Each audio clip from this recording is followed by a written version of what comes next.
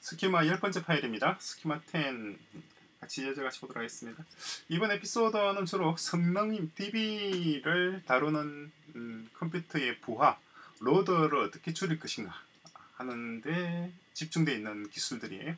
같이 하나씩 천천히 보도록 하겠습니다. 오른쪽 화면을 보시면은 음, 바로 아시겠습니다만 리셋을 한 겁니다.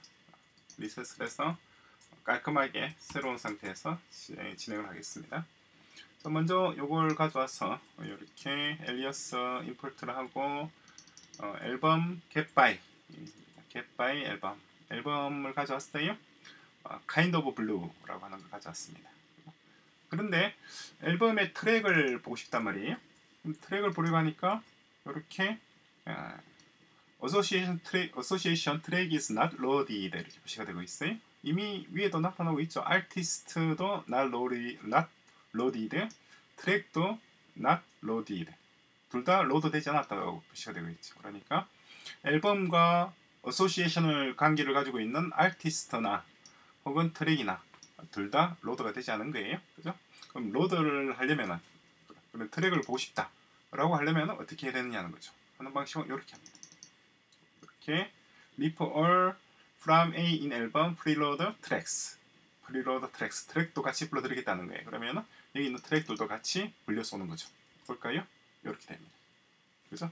그래서 MusicDB 트랙, MusicDB 트랙, 그죠? 얘와 연관되어 있는 Kind of Blue라고 하는 앨범에 들어있는 트랙들이 예, 다섯 개의 아니죠. 트랙이 트랙 번호 몇 번인가요? 4번이군요. 네 개의 트랙들이 같이 이렇게 load됐죠.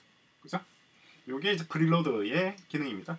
어, from A in 앨범 이렇게 해도 되고 아니면 그냥 앞에 있는 from A in까지는 다 지워버리고 앨범만 적어도 상관이 없죠. 이렇게 해서도 무난히 동작하겠죠. 당연히 동일하게 동작하죠. 자, 아니면 이렇게 할 수도 있습니다.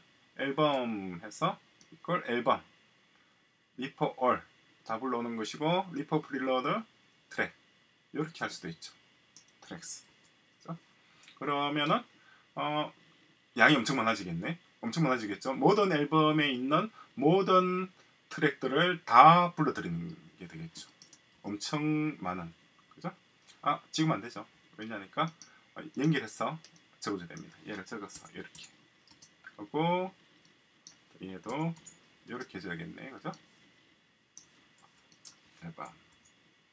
엄청 지금 너무나 빠른 속도로 지나가서 많이 로드된 걸 모르시겠습니다만은 여기 있는 우리가 시드에 있는 모든 데이터가 다 불려온 겁니다. 그죠?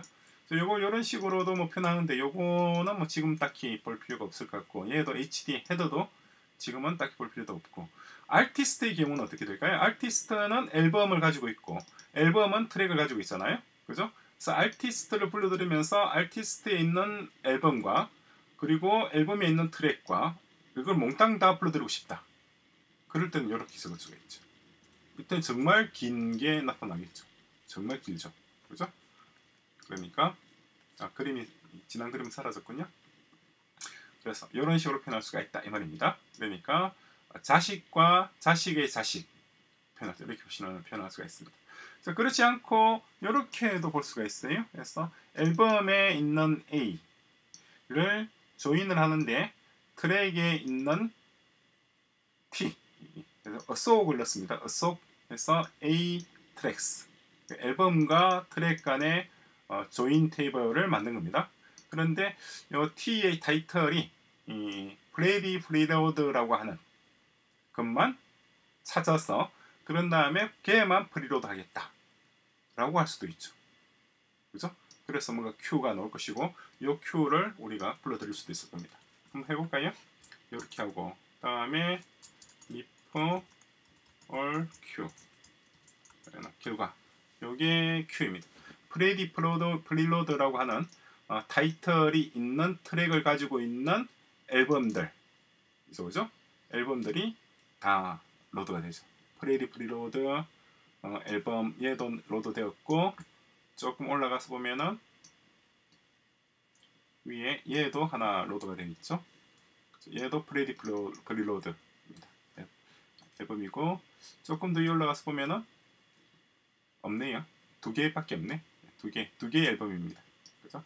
얘는 아티스트 넘버 1번이고 그죠? Kind of 타이틀은 Kind of Blue 이거 얘는 아티스트 넘버 2번이고 어 이름 타이틀은 You Must Believe in Spring이라고 하는 앨범입니다. 그죠? 그래서 Freddie Freeloader라고 하는 타이틀을 가진 트랙, 그죠?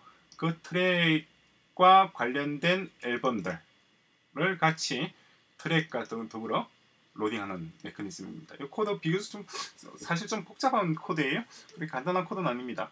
어, 요 연관관계를 뚫어지게 쳐다보면 쳐다보시면은 요 어쏘기 하는 역할이 무엇인지 어렴풋하게 그림이 좀 그려지실 겁니다.